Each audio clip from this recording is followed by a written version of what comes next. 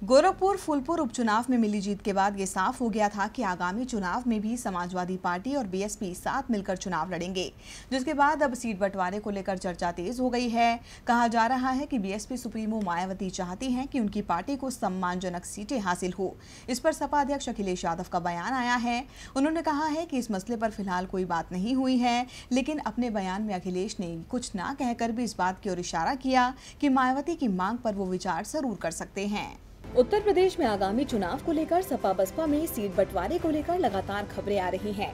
कहा जा रहा है कि सपा अध्यक्ष अखिलेश यादव ने मायावती को सीट शेयरिंग के लिए कोई प्रस्ताव सुझाया है। लेकिन इन तमाम खबरों के बीच अब अखिलेश यादव का बयान आया है। दरअसल उनसे पूछा गया था कि बीएसपी के साथ सीटों के बंटवारे पर वो तालमेल कैसे बैठाएँगे। इस पर अखिलेश यादव ने कहा कि आगामी लोकसभा चुनाव के लिए सीटों के बंटवारे पर फ़िलहाल कोई बात नहीं हुई है और इस बारे में उचित समय पर विचार विमर्श किया जाएगा। एसपी अध्यक्ष ने कहा कि सीटों के बंटवारे के बारे में जो भी खबरें आई हैं, वो सिर्फ़ अखबारों में ही है।